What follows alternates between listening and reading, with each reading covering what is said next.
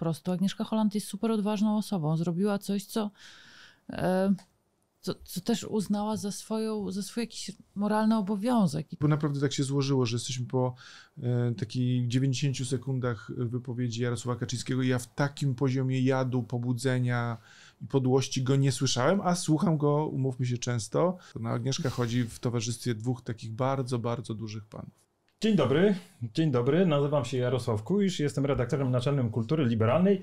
Witam Państwa w naszej rozmowie z cyklu Prawo do niuansu. Wracamy po wakacyjnej przerwie, ale niuans jest potrzebny jak i przed wakacjami, proszę Państwa. W czasach medialnych polaryzacji, intelektualnych szaleństw potrzebujemy niuansów jak powietrza. Nad sukcesem naszego spotkania czuwa redaktor Jakub Bodziony, ale bez Państwa nic by nam się nie udało. Powstajemy dzięki Państwa wsparciu przez Patronite, dzięki darowiznom cyklicznym, wsparciu, za które, proszę Państwa, w czasach ciężkich dla wolnych mediów, niezależnych mediów, ogromnie dziękujemy. Liczy się każda złotówka, więc, proszę Państwa, nisko chylę czoła. I zachęcam również do subskrybowania naszego kanału na y, YouTubie. Każda subskrypcja się liczy. Dziękujemy Państwu. A dzisiaj, a dzisiaj Wspaniali goście. Wspaniali goście, e, których przedstawiać nie trzeba, ale tym przyjemniej jest to zrobić. E, mianowicie Katarzyna Kasia, członkini naszej redakcji Kultury Liberalnej, e, związana z e, Akademią Sztuk Pięknych w Warszawie, e, filozofka, e, dziennikarka i autorka książki wraz z Grzegorzem Markowskim, dziennikarzem radiowym i telewizyjnym, którego Państwo doskonale znają z ekranów i z sitek radiowych. Mhm. otóż razem popełnili książkę i tutaj, jeśli chodzi o obrazek, siedem życzeń, rozmowy o źródłach nadziei. Tak. Proszę, tak jest. Dzień dobry, to my. Jaki co?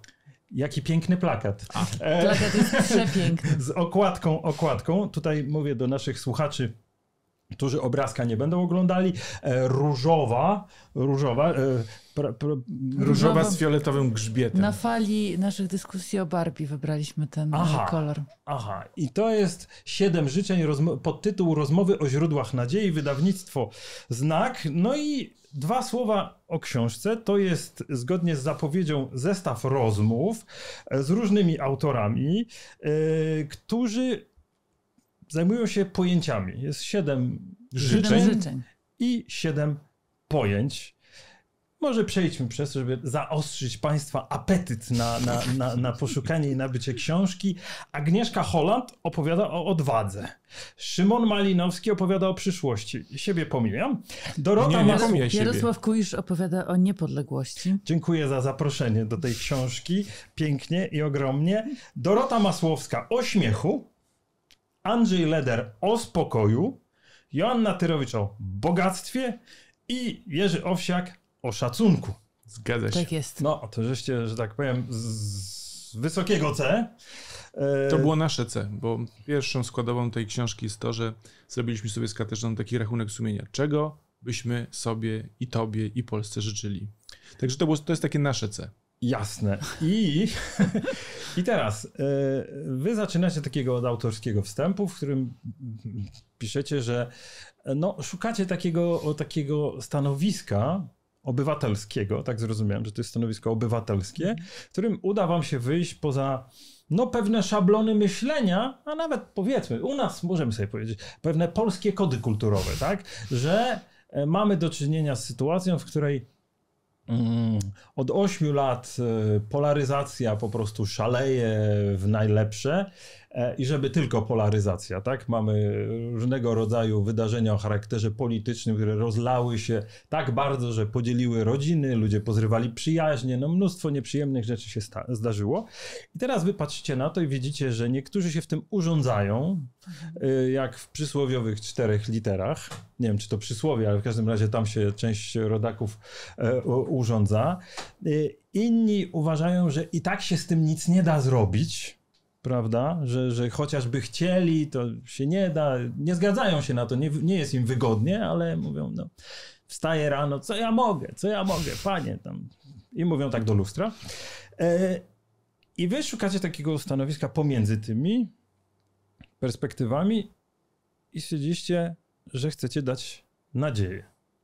No tak, sobie. wiesz co, bo bez nadziei to się, e, to się nie da żyć. Mi cały czas podczas naszej pracy nad tą książką chodził po głowie taki fragment z piosenki, którą mój tata często śpiewał, że kiedyś kiełbasa była z mięsa, cukier rozpuszczał się, klej kleił, a gdy ci osiadł sen na rzęsach, nie zasypiałeś bez nadziei.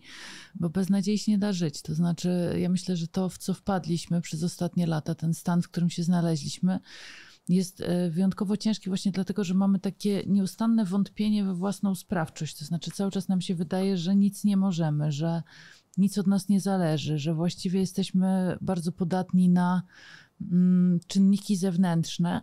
No i też dostaliśmy ciężką szkołę w tej sprawie, zaczynając od pandemii, idąc przez wojnę, no i przez zmasowany atak na państwo prawa w Polsce, które nastąpiło i ty powiedziałeś o e, obywatelkach, o obywatelach i o takiej postawie obywatelskiej, e, ona jest w Polsce niszczona. On, na nią został przypuszczony pewien e, bardzo konkretny atak i ten populizm po polsku moim zdaniem polega na tym, e, że po prostu przestajemy czuć sprawczość, a więc przestajemy w takiej klasycznej definicji być obywatelkami i obywatelami Polski.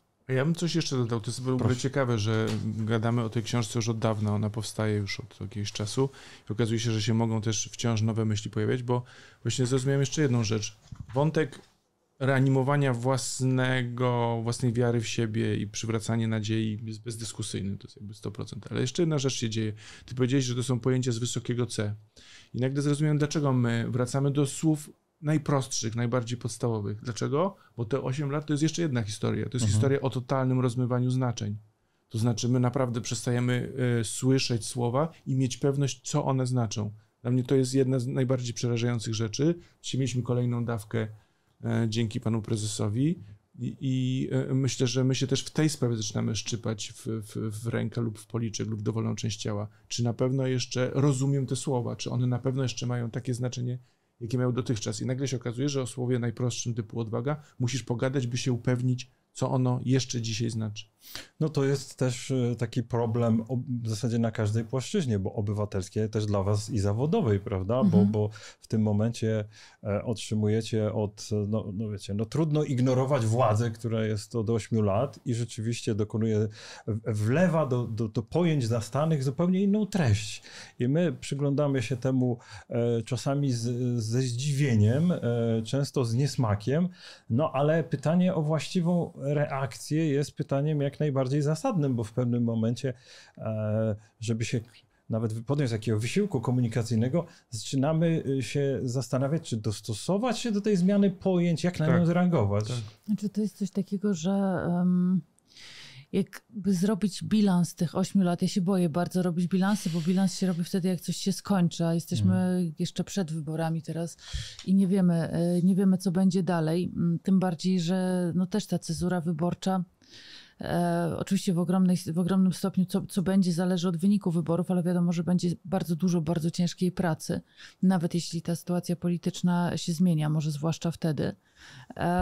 Ale ja mam takie poczucie, że w ciągu tych ostatnich ośmiu lat myśmy się wszyscy musieli trochę przekwalifikować. I to też jest dla mnie ważne w tej książce, że myśmy nagle e, musieli zacząć myśleć o takich sprawach, które wydawały się już załatwione. Wydawało się, że, że to idzie w, oczywiście w różnych e, dyskusjach o tym, kto ucierpiał, kto został wykluczony, jak tym osobom pomóc, jak je włączyć i tak dalej, ale wydawało mi się, że, że to już jest jakiś kierunek. Natomiast e, to, co się stało teraz, e, dowiodło, że w gruncie rzeczy e, podstawy były bardzo kruche, że te niezałatwione sprawy, odkładane cały czas na później, e, zemściły się i że znaleźliśmy się w sytuacji, w której nagle trzeba było rzucać, czy to nie wiem, bezpieczne sale wykładowe, czy dobre, miłe biura i przestrzenie spokojne,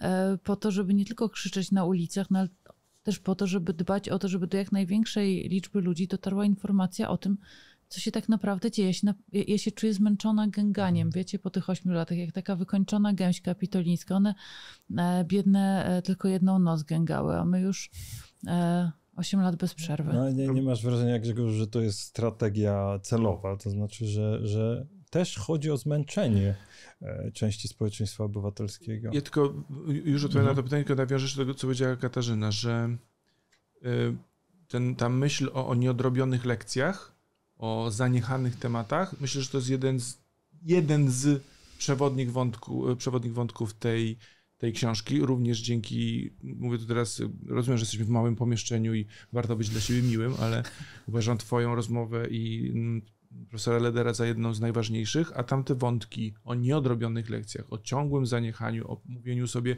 no to jest trudne, to może się z tym nie konfrontujmy. Te wątki tam są i jeżeli my dzisiaj jesteśmy i Kasia mówi y, kruche podwaliny, no to właśnie dlatego, mhm. że od 89 roku z jakiegoś powodu przyjęliśmy, przyjęliśmy, że skoro się parę rzeczy trudnych stało, to reszta trudnych spraw też się sama stanie, sama się zrobi. No i się nie zrobiła i dlatego rzeczywiście jesteśmy y, zmęczeni. Ja już nawet wiecie, nie wiem, czy jestem zmęczony. Ja mam, mam poczucie takiego trybu zombie, że y, jesteśmy w tym, w tym, w tym stanie nieustającej mobilizacji właśnie, no właśnie od, od lat i trochę zaczyna, to, to zaczyna być ta nowa normalność. A ty powiedziałeś o strategii? Na 100% tak. I najgorsze jest to, że to towarzystwo widzi, że to działa. Mhm. Bo rzeczywiście bombardując nas nieustająco, my przestajemy prostu reagować. Dlaczego? No bo jak ci spadnie jedna kropla, to można przed nią uskoczyć. Natomiast jeżeli leje deszcz, to któryś będzie mówił, no tak, leje deszcz, nie ucieknę przed tym. Jasne. A, a czy wobec tego my, wasz projekt to jest e, e, te, te, te przywrócenie, wlanie że tej poprzedniej treści, tak? Chcieliście, żeby przypomnieć sobie o poprzednim znaczeniu, czy też zbadać bardziej a może jednak już się pozmieniało nasze rozumienie odwagi czy, czy, czy szacunku, prawda? Wiesz, rozmawialiśmy z ludźmi, którzy to, o czym z nimi rozmawialiśmy, praktykują na najróżniejsze sposoby. Czy to odwagę, czy niepodległość, czy szacunek, czy spokój. E, bo każda z tych osób jest osobą, która znajduje się w centrum e, wydarzeń. Wiesz, to są ludzie, którzy e, włożyli bardzo duży wysiłek w obronę tej konkretnej wartości, czy tej konkretnej postawy. E, także myśmy nie tyle chcieli teoretyzować na temat, e, wiesz, po, po, raz kolejny budować jakąś opowieść, definiować na nowo pojęcia. To nawet nie o to chodziło. Bardziej chodziło o to, żeby zobaczyć, jak to działa e, po prostu w akcji. To znaczy, jak mhm. to się egzekwuje, jak być odważnym, jak być osobą, która szanuje i jest szanowana, jak praktykować niepodległość w mądry sposób, tak żeby mieć jej świadomość i jednocześnie jej nie stracić. To znaczy mieć świadomość tego, jak bardzo ona jest ważna. Ze spokojem czy z bogactwem jest tak samo. No i ta rozmowa o poczuciu humoru z Dorotą Masłowską to też bardzo jest fajna, bardzo ważny wiesz, Bardzo element. mi się podobała. E, skoro już dotarliście do, do, do tego śmiechu. E, po pierwsze Dorota Masłowska z pewnego rodzaju poczucia humoru słynie, ale muszę powiedzieć, że bardzo mi się podobało, to, podobała ta rozmowa, bo ona o tym śmiechu mówi zupełnie poważnie, no tak, prawda? Absolutnie tak. To się okazuje kolejnym jakimś tam sposobem na opisanie mm, i nas, i tego, czego, e, czego nam brakuje. Ja znowu się cofnę, przepraszam mhm. was bardzo, bo ty zadałeś chyba takie mm, eleganckie pytanie, po co właściwie tą książkę napisaliśmy. E, czy to jest właśnie przywracanie definicji, czy tworzenie nowych. A ja mam też w tej sprawie taki, taki proces w czasie, bo jak Kasia wie, ja tą myśl o tej książce i takie ambicje z nim związane miałem na początku imperialne. Znaczy miałem, to znaczy? znaczy miałem absolutnie taką wizję, że ludzie przeczytają tę, tę, tę książkę, wszyscy. I będą wiedzieli, I powiedzą, aha, i od tego momentu... głosują na ciebie. Nie, nie, ja w ogóle o głosowaniu nie myślałem. Z kampanią znaczy, dopiero będziemy tak, startować tak. wyborczą. E, znaczy, naprawdę myślałem, że ta książka może zmieniać świat. Mhm. Mniej lub no, bardziej. Jeszcze nie wiesz. Mm, no to nie wiem, czy to jest o czasie, w którym jesteśmy, czy o mnie, ale mi się to, to jakby poluzowałem sobie te oczekiwania. Aha. I dzisiaj, jak pytasz, po co ta książka, albo dlaczego ją robiliście, to ja mam nawet przyjemność, że się do tego przyznam. Otóż robiłem ją wyłącznie dla własnej przyjemności. Udało się? Tak, właśnie o to chodzi, że, że te rozmowy z, z, z mądrymi, fajnymi, szlachetnymi, wspaniałymi, ciekawymi ludźmi, to jest przyjemność. Odkrycie w tym syfie, o którym tutaj od kilku minut mówimy, takie właśnie odkrycie, że są po prostu genialni e, ludzie i znowu mogę te przymiotniki powtórzyć, to jest wielka radość. No widzicie, i to jakby wychodzi, to, to jedno z tych pytań, które wam chciałem zadać, wychodzi, że my tu o po pojęciach rozmawiamy, ale ja mam wrażenie, że w istocie ta książka i twój imperialny projekt, wcale nie wydaje mi się tutaj to słowo takim przesadzonym, że jeżeli ktoś sięgnie po nią, do czego zachęcamy, to będzie miał poczucie budowania więzi. No Wiecie, no tak. bo populizm, bo ci wszyscy populiści, ich program jest taki, żeby porozrywać więzi między nami poprzez rozmywanie znaczeń, żeby przez odwagę Polak numer jeden rozumiał prawda, mhm. białe, a przez odwagę Polak numer dwa będzie rozumiał czarne. Nie dogadają się, będą chcieli się pobić. Wspaniale. Trzeci na tym korzysta, jak wiadomo. Prawda? No tak, tutaj tak, chodzi proszę, o to... A propos czarne i naszych nastrojów, proszę zwrócić uwagę, proszę Państwa, na nasz outfit. Nie uzgadnialiśmy tego, ale jest wesoły. To się po prostu wydarzyło. Nie, ale ja sobie myślę właśnie, że to jest... Um jakieś takie cofnięcie się do e, takich najprostszych, czasem nawet naiwnych pytań ma ogromne znaczenie. I tak jak mówisz, Jarku, to może polegać na jakiejś próbie odbudowania więzi, bo e, akurat te osoby, z którymi rozmawiamy, to są wszystko osoby bardzo mocno nastawione na. Mm, nie wiem jak to ładnie powiedzieć, bo mnie już strasznie wkurza to wychodzenie z, baj, z bańki, ale to są osoby, które no jakby nie moszczą się, żadna z nich nie mości się wygodnie w jakimś jednym e, swoim przyjemnym otoczeniu. E, każda z tych osób ma doświadczenie wychodzenia ze swoim przekazem bardzo szeroko. E, czy to poprzez sztukę, jak Agnieszka Holland czy Dorota Masłowska, czy poprzez propagowanie nauki, ale też praktykowanie e, zasad liberalnej demokracji w praktyce e, i promowanie w ogóle tak, takiego rodzaju myślenia bardzo szeroko. No to jest e, tak jak ty, czy jak, jak Andrzej Leder, czy na przykład Szymon Malinowski, profesor Szymon Malinowski, fizyk atmosfery, który oprócz tego, że, że udzielił nam wspaniałego moim zdaniem wywiadu odpowiadającego na dosyć istotne pytanie, na, na to, o to, czy w ogóle mamy czy jakąś będzie. przyszłość, czy będzie przyszłość, no to trzeba przypomnieć, że profesor Malinowski E, jest współtwórcą bardzo ważnego filmu Można panikować. I takiego filmu, który właśnie zrobił dużo szumu nie tylko w Polsce, ale w ogóle na świecie, bo był taki, stał się takim głosem e, ludzi świadomych, e, którym mogą się podzielić, tak żeby dotrzeć do tych, którzy nie, nie zdają sobie sprawy ze skali zagrożeń, jakie wiążą się z kryzysem planetarnym. No, no, o zaangażowaniu społecznym Jurka Owsiaka to nie muszę jakoś specjalnie tutaj wspominać, czy Joanny Tyrowicz, która zasiada jako kandydatka e, wybrana przez Senat w no, bardzo wrogim środowisku Rady Polityki Pieniężnej, gdzie jest po prostu ekonomicznym sumieniem Polski. I tu jest jeszcze jedna rzecz, która tych ludzi wszystkich łączy, a nie był to klucz doboru, Teraz to też znowu zrozumiałem. Fantastyczna rozmowa, dziękuję Wam.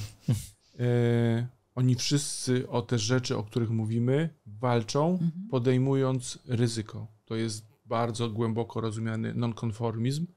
Za te rzeczy, które są dla nich ważne, oni dostają łomot. Prześledźcie sobie te nazwiska, które Kasia przed chwilą no, pierwsza, pierwsza Każda osoba. z tych osób nie tylko ładnie gada o jakichś ładnych rzeczach, tylko o nie walczy. No, pierwsza, pierwsza tutaj w waszej książce jest oczywiście Agnieszka Holland. Czy trzeba coś dodawać? Wiesz, nagrywaliśmy rozmowę z Agnieszką dokładnie, znaczy w ogóle Agnieszka jest bardzo zajętą osobą. E, I Cudowne, zgodziła się na rozmowę z nami e, po prostu pracuje. późną nocą, tak naprawdę. Tak. E, spotkaliśmy się z nią i ponieważ to była nasza pierwsza rozmowa, to myśleliśmy, że jak z nią przerozmawiamy 6 godzin, to tak, tak wszystkiego się naprawdę wiem. Ona była bardzo, bardzo długa. Agnieszka z wielką cudowną cierpliwością i namysłem odpowiadała na nasze coraz bardziej e, tak. zagłębiające się w Ale dojechaliśmy pytania. do granicy, w którymś momencie powiedziała, wiecie co, jakby no już, skończmy już, jakby fajnie jeszcze, się gada, ale tak? skończmy już. Bo tak, jeszcze tak, to było naprawdę jest, późno. Tak, dodatkowo, dodatkowo ona następnego dnia musiała bardzo wcześnie wstać, bo jechała e, kręcić Zieloną tak. Granicę. To był dokładnie w przeddzień rozpoczęcia tak, zdjęć. I już była bardzo zdenerwowana i już... Um, myślę, że w ogromnej mierze miała świadomość tego, co ją czeka i myślę, że też dobrze zdawała sobie sprawę z tego, że ci, którzy będą ją atakować, nie zobaczą filmu i, i to, się, to się wszystko stało, tak jak Agnieszka nam mówiła. Myśmy się nie spodziewali, że to będzie aż, e, aż coś takiego. No, dowiedzieliśmy się, że przed filmem mają być jakieś anonsy Ministerstwa Spraw Tak. Wewnętrznych i Administracji, więc do tego doszło, ale muszę powiedzieć, że w, tym całej, w tej całej mm, jednak obrzydliwej sprawie, bo to są brzydkie słowa, które ciskane są na... E, Ale na jakiej Agnieszkę podstawie? Bo Holland. ty jesteś, Jarek, e, ty się znasz na prawie. Przepraszam, jaka jest podstawa prawna? no Będzie nie, no jakaś, to znaczy, jakieś wiesz, e, rozporządzenie? ja Jak ktoś nie, nada tego, to tam było, powiedziane, tam było powiedziane, że w kinach studyjnych, czyli rozumiem, ja- jakimś takim trybie miejsc, gdzie oni mają rzeczywiście... W, Mi przed nosem mignął anons prasowy, ja nie znam uzasadnienia i to by było ciekawe, może się okazać, że tu już należałoby zatrzeć rączki, że, że, że e, jeżeli to jest decyzja administracyjna, to szybciutko do, do sądów administracyjnych, które cały czas przymiot niezależności zachowują, więc Mm. wiecie, to Ja zrozumiałem, że to jest w jakimś wybranym typie e, kin, a nie wszędzie. No to by było jakieś... Słuchajcie, no tak czy inaczej jest to bezprecedensowa decyzja, sami przyznacie, bo to No czegoś takiego nie było jeszcze. Przypomina- Wiesz, ale my po dzisiejszej, bo naprawdę tak się złożyło, że jesteśmy po e, takich 90 sekundach wypowiedzi Jarosława Kaczyńskiego i ja w takim poziomie jadu, pobudzenia i podłości go nie słyszałem, a słucham go, umówmy się, często, więc po tym, co usłyszeliśmy dzisiaj z Kasią, no to trochę należy powiedzieć sobie, że niestety, ale wydarzyć się może wszystko. No, Agnieszka chodzi w towarzystwie dwóch takich bardzo, bardzo dużych panów. No i dobrze. No bo się I boi dobrze, po prostu bo, bo nic dziwnego. mamy za sobą historię prezydenta Adamowicza i trzeba powiedzieć, że e, wspominałeś o tym przyzwyczajeniu do oswojeniu się z, tym, z tą ostrą e, debatą publiczną w Polsce i groźbami, które fruwają pod postami dość swobodnie. No ale zdarza się niestety, że trafiają takie słowa do uszu osób, które chcą przejść od słów do czynów i, w- i Dzisiaj nigdy nie wiadomo. de- de- debata publiczna. wiadomo. Ja myślę, że to nie ma nic wspólnego ani z debata, ani z publiczna. Nie, nie, nie jesteśmy w ogóle w tym miejscu. Czyli hejt publiczny, tak? Mhm. Byśmy No, powiedzieli. czy w w okolicach wymianie linczu. ciosów, tak, linczu. Ra, raczej bardziej myślę, że to jest to słowo lincz. Ja, mm, znaczy, to jest, jak, jak się słucha tego, dla mnie to są już takie pogromowe okrzyki, wiesz, to już jest po prostu klimat marcowy, Tle tłum, 68 który rok, robi tak. I to są, i to są no- takie pokrzykiwania, wataszki, który po prostu uważa, że, że co, Tak. że mu wolno. No, wolno, wiesz, to jest zawsze między mieszaniną strachu, a, a chęcią sprawowania dalej kontroli nad innymi ludźmi. Mm. Ja mam wrażenie, że w ogóle e, pamiętam, że w analizach politologicznych, jak są analizy, analizujemy politykę, to czasami pojawia się takie, nie chcę psychologizować. A muszę powiedzieć, że e, no bez psychologizowania to my nie zrozumiemy, Mhm. co się dzieje w Polsce, ponieważ e, widać, prawda, e, pewne kłopoty z równowagą emocjonalną u, u- liderów, ale powiedziałbym, jeszcze wracając, podkreślając znaczenie tego, o czym przypomina wasza książka, że to jest książka na kontrze jednak dobór osób, tak, na kontrze do obecnego e, reżimu, a w związku z tym ona, ona nam przypomina, zobaczcie, jaki typ osobowości przyciąga ta władza, prawda? Bo to jest też coś takiego, jakiś taki rys psychologiczny osób, które są strasznie do siebie jakoś podobne, choćby w tym, że nie, wiem, nie są nastawione na żadną wymianę zdania. Już nie mówię, żeby się Mhm. miały dać przekonać, ale tam w zasadzie są upojone tym, że mogą kogoś e, wgniatać w ziemię, okazać komuś pogardę czy lekceważenie. E, I to, i to ja, nie wiem, jakiś taki diabelski klucz tutaj e, się, się, się nam okazuje, że ta władza po prostu no, zasysa takich ludzi, przyciąga, co, ja zachęca. to, to nie jest jakaś wielka zagadka. No to jest po prostu z, z, zło i, i całkowity brak zasad. I wydaje się to proste. Natomiast nie mogę teraz opowiedzieć o szczegółach, ale znam jedną osobę, mówiłeś o przyjaźniach, które się urywają. Ja mam jedną osobę rzeczywiście taką, która była, no była kiedyś w ogóle, to był ktoś, kto był moim przyjacielem. Mhm. Jakby w tym sensie mogę jakby za taką stronę moralną tego kogoś zaświadczać. I, i wi, widziałem, obserwowałem tą historię, gdzie krok po kroku, właśnie w imię nawet czasami bardzo szczytnych celów, przesuwasz się, przesuwasz się, przesuwasz się coraz bardziej i nagle twoja orbita już jest gdzie indziej, znaczy inna Mhm. planeta cię zaczyna mm, przyciągać i to pewnie są też takie historie, gdzie człowiek nawet nie zauważa, kiedy, że tak powiem, tą, tą twarz zmienił. I zerwana została przyjaźń, tak? No, wi- widzicie, no to Anne Applebaum napisała o tym książkę, Mhm. prawda? O zerwanych przyjaźniach przez rządy. Mi się zawsze wydawało, i to też tak do, do, do was takie pytanie, że e, właśnie może słusznie wracamy do tych wielkich pojęć, bo one stanowią podstawę tych, tych połączeń między ludźmi. Jeżeli wiemy, uzgadniamy treść na to, wiemy, co to jest odwaga w takiej sytuacji, jak rządy prawda, autorytarne, to dodajemy sobie otuchy. Tak, no bo mieliście, czujemy, wiesz, mamy w trakcie takie, rozmów tak, mieliście? Absolutnie, mamy takie poczucie, że um, to są takie czułe struny, których jak się dotknie, e, i się okaże, że ktoś e, rzeczywiście tak postępuje w życiu, że na przykład jest odważny po prostu. Agnieszka Holland jest super odważną osobą. Zrobiła coś, co, e, co, co też uznała za, swoją, za swój jakiś moralny obowiązek. I to jest, mhm. dla mnie, to jest dla mnie niezwykłe, dlatego że coraz rzadziej tak jest, że właśnie w dobie autorytaryzmu, e, kiedy specjalnie się wykoślawia te wszystkie e, wartości, e, no to już nikt nie ma żadnych moralnych obowiązków. To każdy mm, dba o swoje poletko, uprawia swój ogródek i nie mamy, te więzi społeczne też się rozpadają, dlatego że nie mamy zobowiązań wobec wspólnoty żadnych, wobec społeczeństwa. Nie mamy poczucia, że ani że my mamy wpływ na to społeczeństwo, no bo skoro rządzi autorytarna władza, to jaki mamy wpływ? E, no i szkoda trochę naszej energii. Życie jest trudne, każdy musi zarabiać na siebie, dbać o swoje, wychować dzieci, generalnie jakoś, jakoś funkcjonować w takim mikrokosmosie. No i powstają takie byty monadyczne. Takie, I jak się pojawia właśnie Agnieszka Holland z takim filmem, który e, dotyka każdego. I on nie jest ani antypolski, ani antyjakiś. On jest po prostu proludzki. On jest głęboko humanistycznym dziełem to, to nagle się okazuje, że, że właśnie takie naj, najważniejsze rzeczy są dla kogoś zagrożeniem, bo ktoś tego nie chce. I tak samo jest z Jurkiem Owsiakiem. Zobaczcie, co oni mu robili.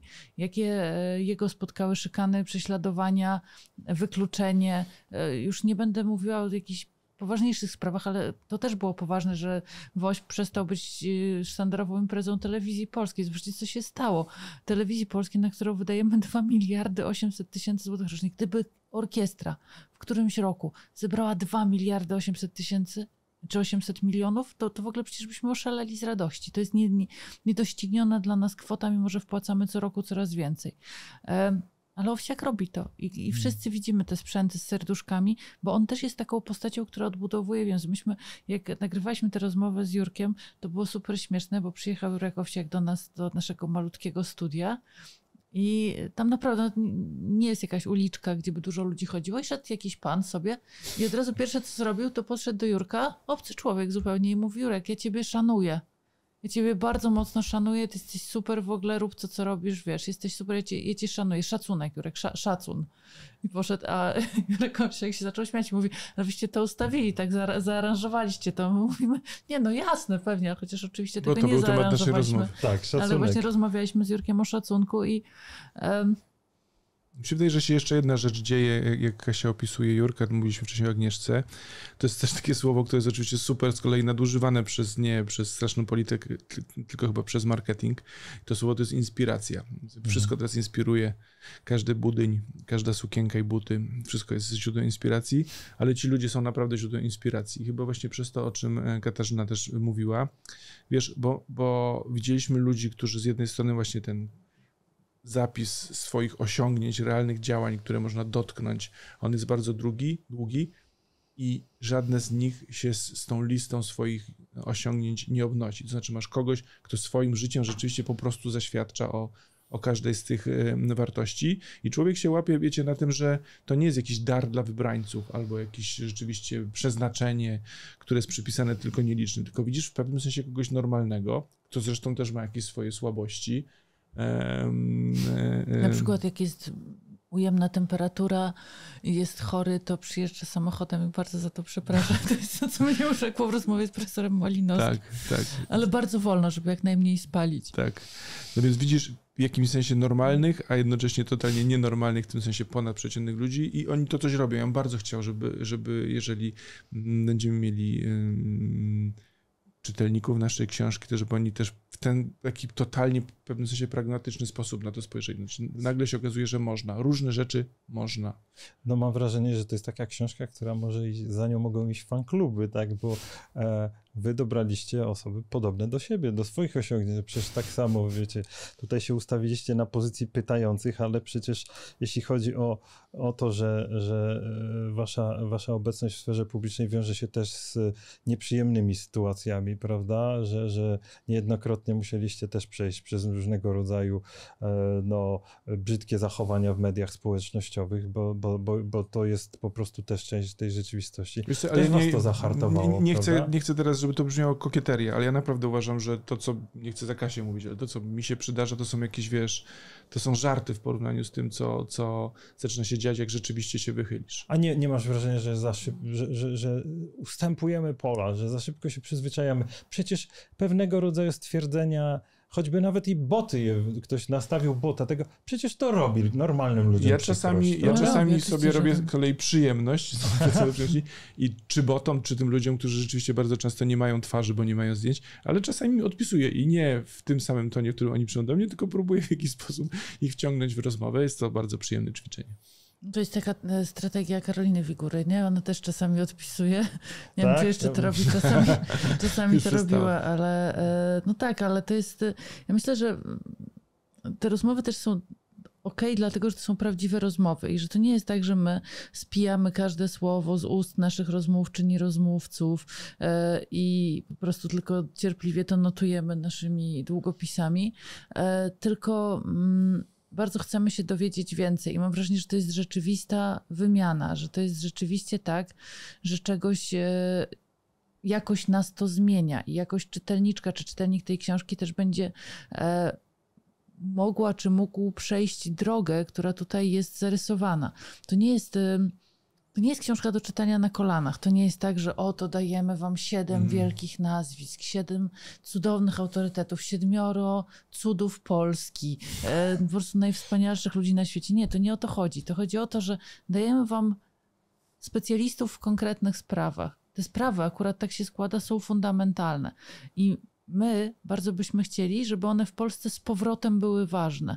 Żeby one z powrotem jakby, żebyśmy sobie przypomnieli o tym, że my je mamy w DNA, że mamy spokój, że możemy mieć bogactwo, że to nie jest tak, że teraz nagle głupi, źli ludzie nas okradają, a okradają nas, kurczę, na taką skalę, która w ogóle jest, dla mnie cały czas mnie to Jak to zatyka, to, jest możliwe, niewyobrażalne. Kochani, no jak, dlaczego ludzie tolerują te, te, te, te, Ty ten mówiłeś, proceder? ty mówiłeś o psychologizowaniu. Ja tego cały czas nie potrafię do końca opisać, ale mam to w jakimś, w sensie w jakimś, w jakimś przeczuciu, w jakimś wyobrażeniu o jakiejś wielkiej więzi emocjonalnej między tą częścią społeczeństwa a, a przywódcami, o jakimś takim głębokim przeświadczeniu, że oni ich reprezentują na dobre i na złe, ale reprezentują.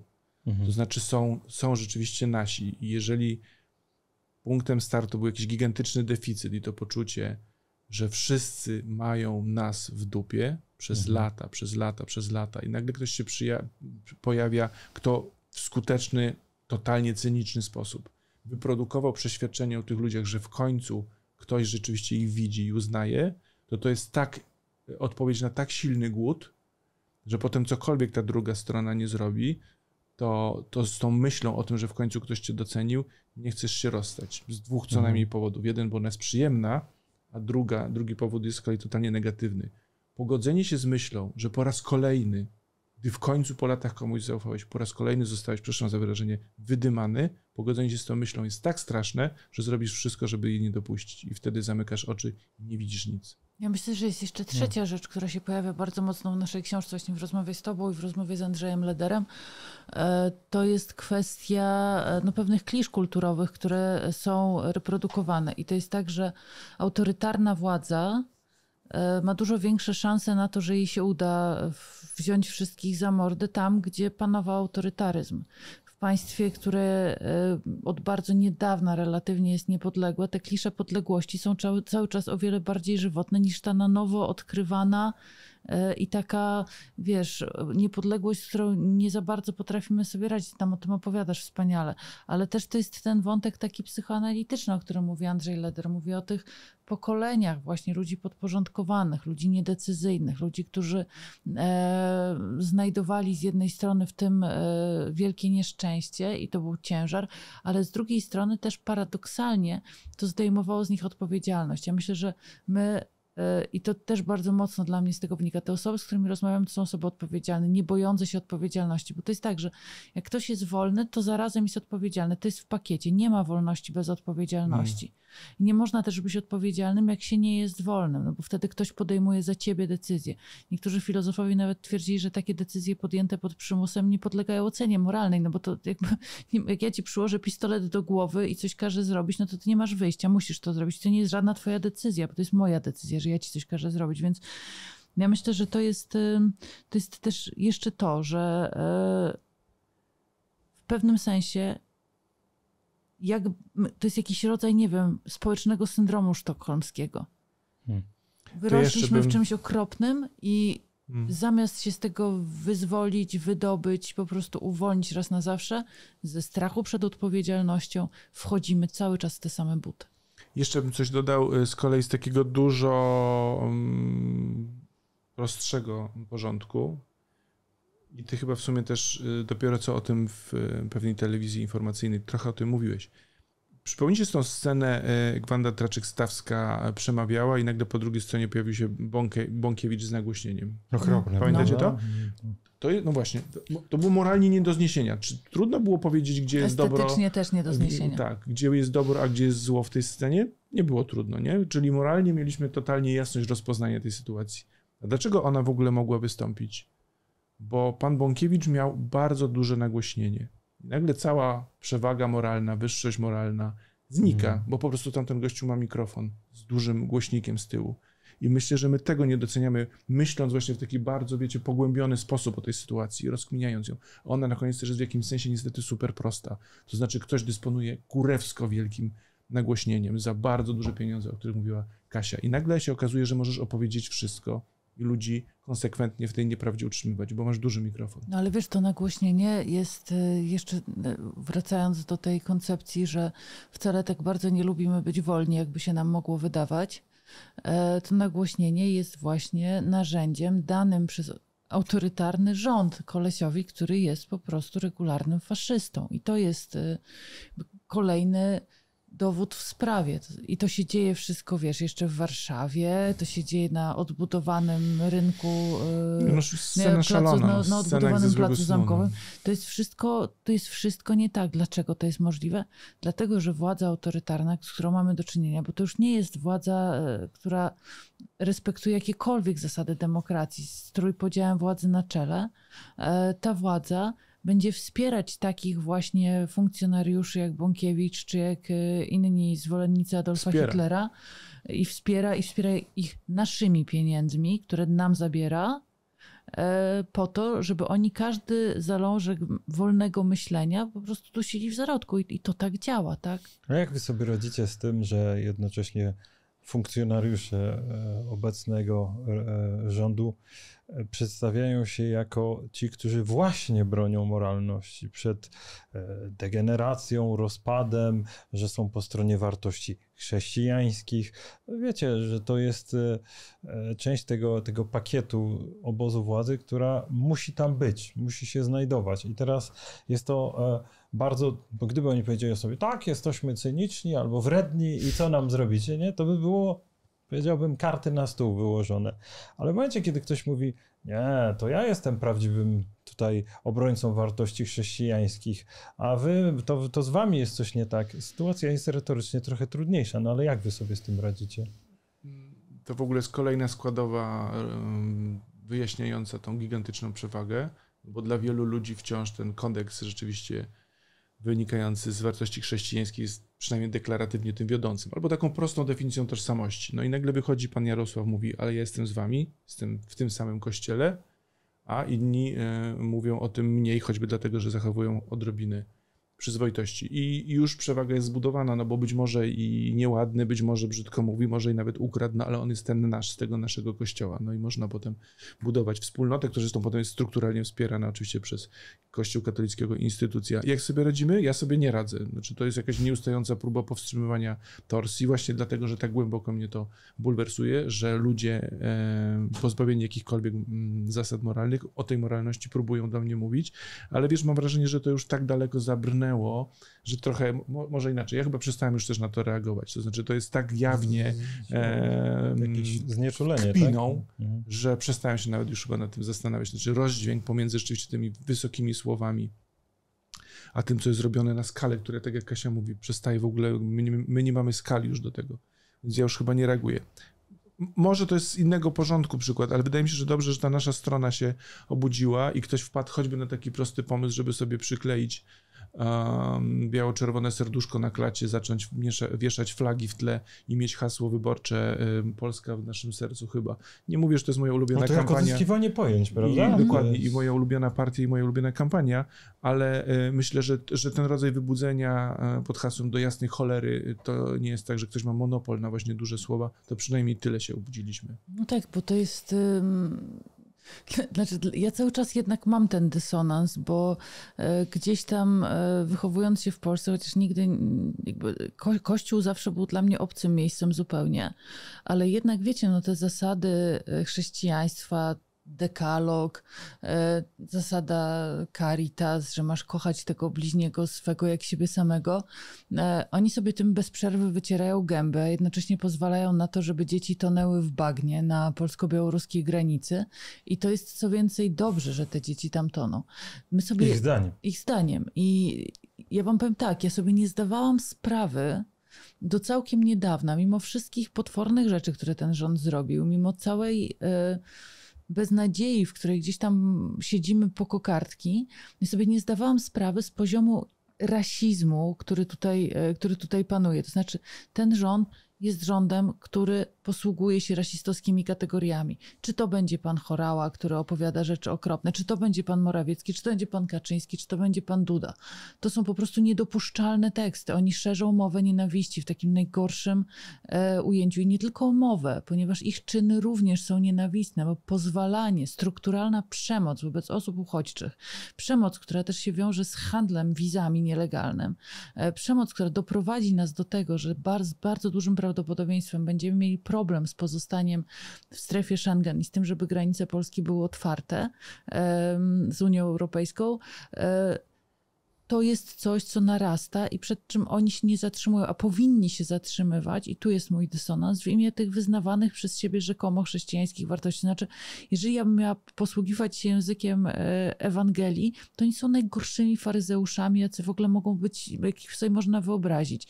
Oni handlują wszystkim, czym się da handlować, a jednocześnie um, nie realizują żadnych wartości. Mikołaj Grenberg napisał taką książkę o tym, co się dzieje właśnie na tej polsko-białoruskiej granicy pod bardzo takim mocnym tytułem Jezus umarł w Polsce.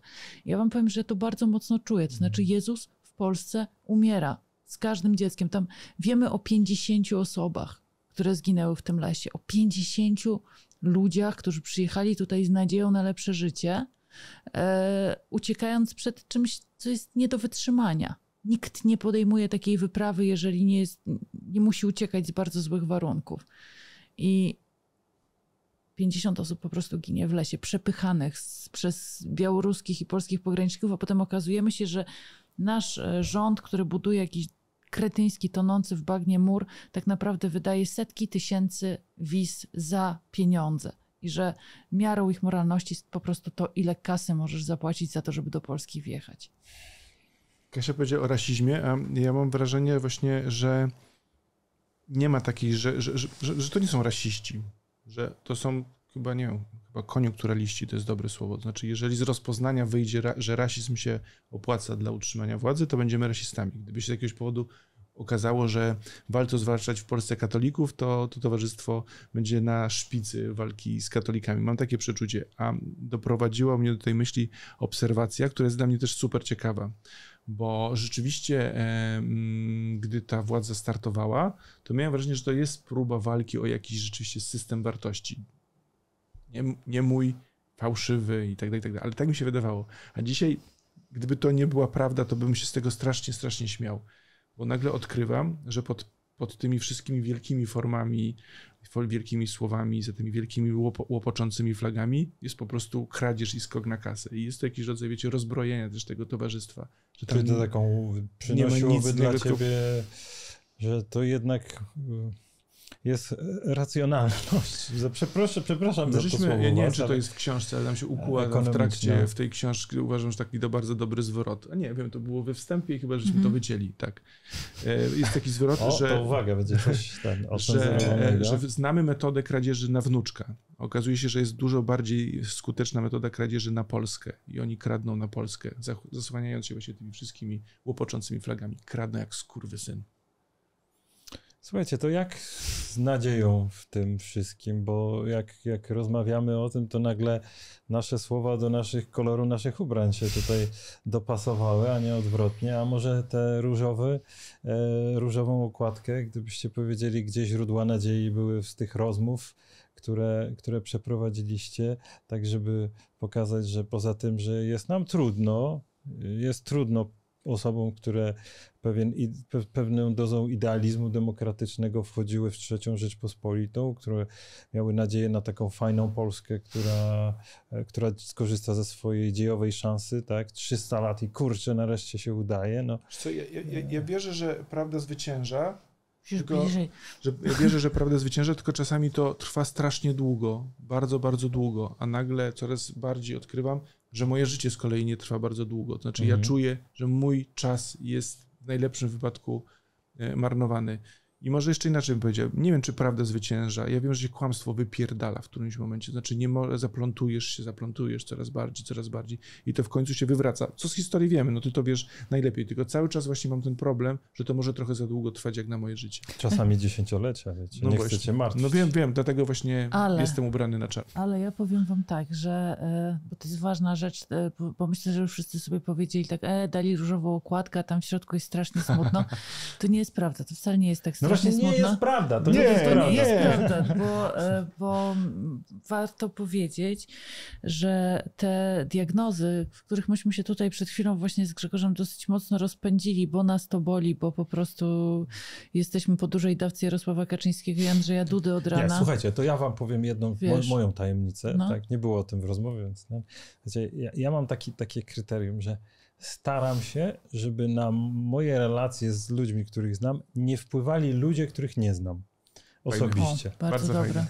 I po prostu to jest tak, że nie ma w tym studiu pana Jarosława Kaczyńskiego. Nie mam przyjemności ani jego znać. Znam jego awatara, który być może jest bliski, a może odległy od tego, jak tam naprawdę rzeczy się mają, mhm. ale staram się, żeby e, na przykład relacje w mojej rodzinie czy z moimi znajomymi nie były infekowane przez ludzi, których nie znam i którzy, tak jak ładnie powiedziałeś, może mają bardzo duży interes w tym, żeby nas podzielić.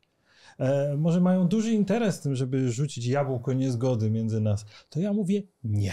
Mhm taki mały, skromny dissent w ramach tego, co. co to co jest w ogóle super dobry, y, super dobry plan, żeby tak robić i bardzo rekomenduję te. Zaraz zacznę też tak myśleć. Natomiast y, w tej książce jest bardzo dużo nadziei, przede wszystkim dlatego, że no, to są ludzie, którzy te nadzieje dają. I nie tylko y, w tym, co mówią, ale w tym, co robią przede wszystkim. I poczytanie o tym, jak oni to robią, jak oni to robią, że są w stanie w tym całym bagnie jednak znaleźć jakieś e, promyki i to całkiem porządnie oświetlające i przenikające przez tę ciemność, e, to jest jakiś rodzaj dla mnie przynajmniej wsparcia. Grzesiek powiedział wcześniej, że miał dużą przyjemność z tych rozmów. Ja miałam też ogromną przyjemność i gdzieś tam sobie myślę, że ta książka jest czymś, co się po prostu dobrze czyta i ona nie daje ci takiego utopijnego, wiesz, że tam a, wszystko będzie dobrze, dobro zwycięży, będzie świetnie. Nie, ona mówi, to jest moje poletko, na nim mogę działać, mogę działać skutecznie, dobrze i tak, żeby ludziom dookoła mnie było chociaż trochę lepiej. Ty o tym. To ja jednak wrócę do różowego. Poczułem rzeczywiście. Przepraszam, skasujemy to wszystko. Ten, różu się nie boisz. Nie, słuchajcie, bo ja powiedziałem tak. Że czasami to dochodzenie do prawdy może bardzo długo trwać. Ty to potwierdziłeś. Ale Jarosław Kaczyński wie to najlepiej. On Zakończmy- dochodzi do prawdy z Antonim to Macierewiczem prawda, dochodzi, po tak, prostu. dochodzi, dochodzi. To jest dochodzi najpiękniejsze dochodzenie nie w. Polsce.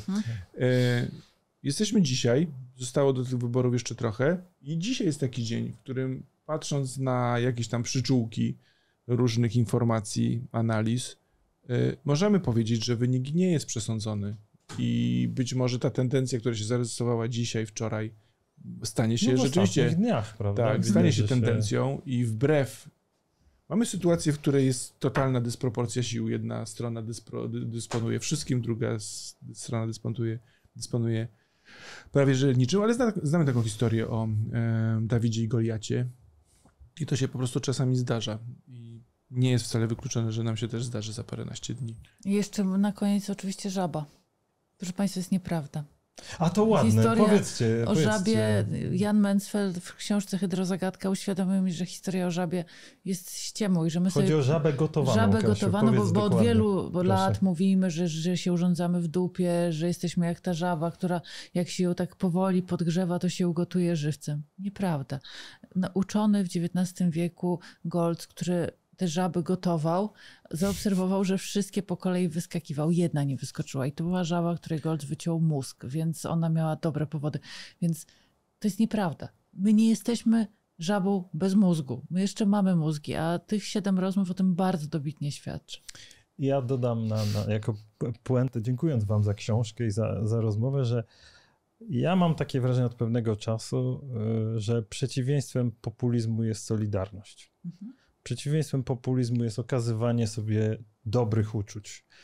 Przeciwieństwem populizmu jest ciekawa rozmowa, miła, kulturalna, w której jesteśmy nastawieni na to, że jednak porozmawiamy, a nie, że będziemy krzyczeć na siebie, jak w niektórych telewizjach to widać aż za dobrze. I wreszcie, że zrobimy coś dla drugiego człowieka, tak? Że, że, że przeciwieństwem populizmu jest gest bezinteresowny wobec kogoś i to jest rzeczywiście trudniejsze, ale dzięki temu, że w waszej książce przypominacie o tych podstawowych pojęciach, no to warto, to będziemy dalej. Super. Słuchajcie. Obiecujemy. Słuchajcie, to ja jeszcze tylko na zakończenie przypomnę Państwu, że e, każdy odcinek podcastu Kultury Liberalnej można obejrzeć na YouTubie i posłuchać w serwisach streamingowych, Spotify i w innych miejscach. Tam proszę, czy, pi, prosimy Państwa o napisanie jakiejś recenzyjki i tak dalej, bo tam wtedy te algorytmy jak małe myszki puszczają rzeczy dalej.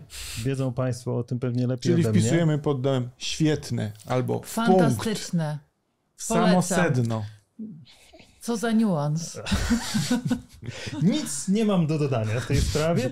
E, już jutro redaktor Jakub Bodziony będzie rozmawiać o polityce międzynarodowej, e, a e, znajdą Państwo także e, na naszej stronie oczywiście najnowszy numer Kultury Liberalnej e, i wielkie podziękowania za to, że nas Państwo wspierają dobrym słowem, komentarzem, finansowo, no bo przecież bez tego nie dałoby się zrobić takiego programu jak dzisiejszy.